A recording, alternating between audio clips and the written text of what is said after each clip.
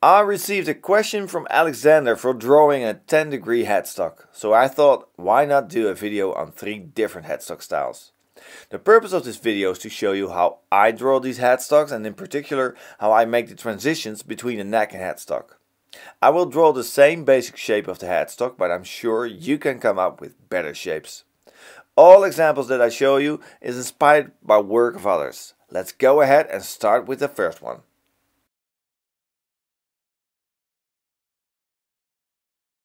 I like to start my drawings by making a scale length. I also make it a construction line. Then I make a few offset planes to mark the beginning of the scale length and the 12th and 24th fret position.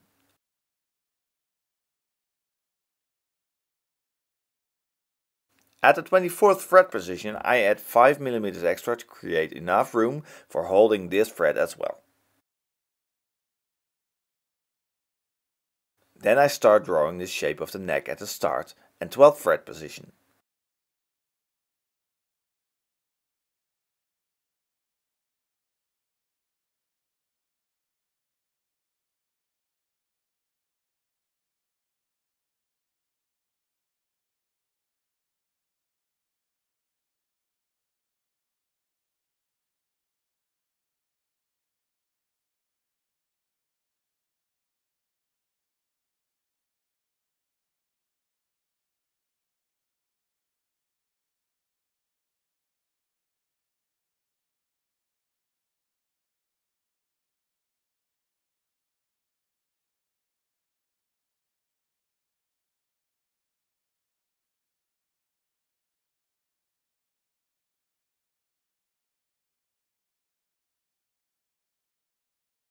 By making a loft the first part of the neck is created.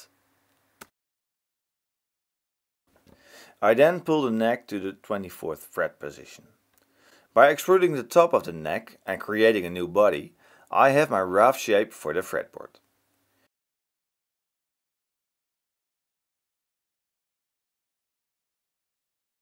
To create space for the top nut, I'm pulling the neck 5 mm out. From here on I will be making the headstock. I start the shape of the headstock in the center of the neck. The length of the headstock will be around 200 millimeters. This is just a rough drawing. Please feel free to create a better shape.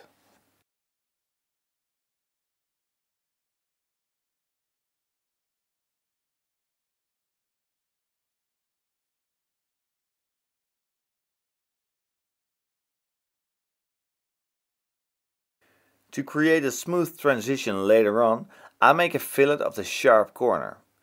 Do not make it too wide, otherwise the transition will not be smooth enough. In this case I make a fairly large extrude, around 25 mm. I'll lose 5 mm later on from top and bottom side. Then I start pulling the neck so it runs smoothly into the headstock. By combining the neck and headstock I am able to make a smooth transition by using the fillet function. I check my fillet size by making sure the width of the fretboard still lines up with the neck. I do that by displaying the fretboard. Now it's time to take off those extra 5mm on top and bottom. I'm creating a rectangle that is 5mm in height and as wide as the headstock length. I then use a spline to give it a nice curve. By extruding this shape and cutting it from the headstock, I create the bottom of the headstock. Basically, the whole process goes for the top part as well.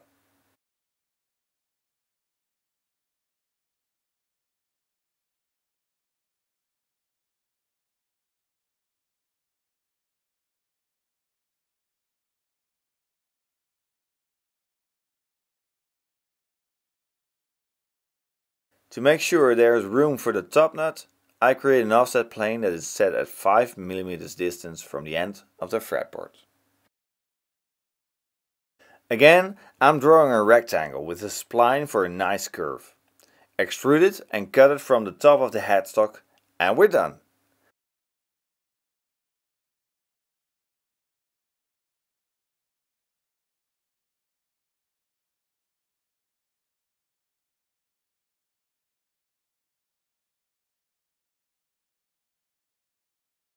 This is example number one.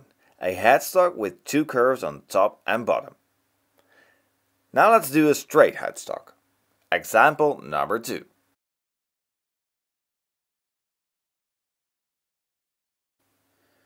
I will start at the place where we create the extra 5mm for the top nut. So again, I will draw a rough shape of the headstock. Do not make the fillet of the headstock too big. This will mess up the nice transition.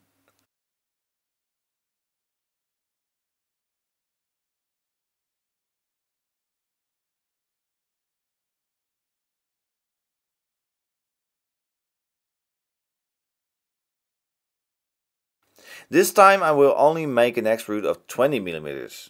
Then I pull the neck out so it runs into the headstock.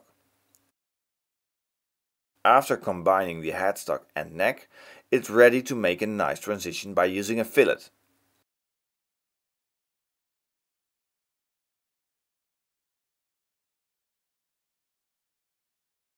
By checking the fretboard, I'm making sure the curves are not messing up the width of the neck.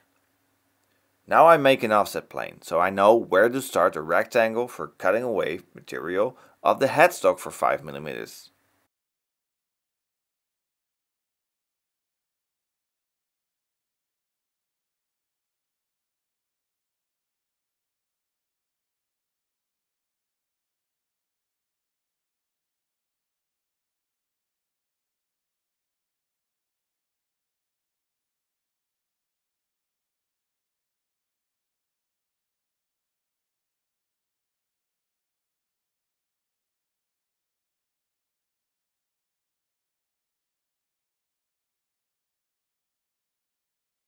So after that is done, this second example is ready. Now the third example, a 10 degree tilted headstock.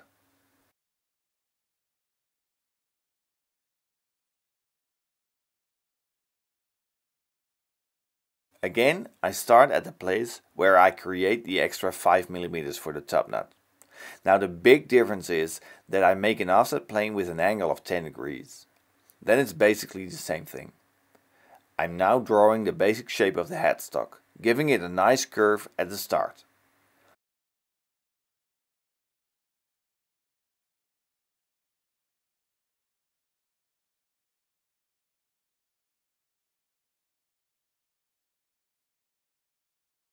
The extrude is already at its final height, which in this case is 50 millimeters.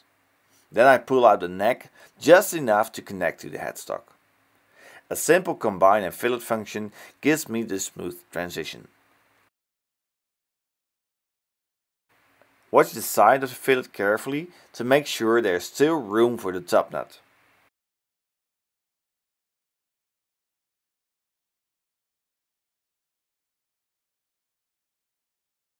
Now the top of the headstock needs some work.